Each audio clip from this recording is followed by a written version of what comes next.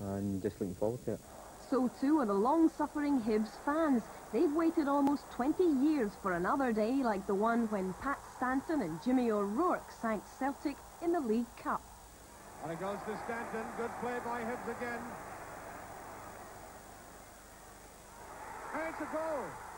The heroes that day joined other well-loved Hibbies this week at the 25th anniversary celebrations of the official supporters club.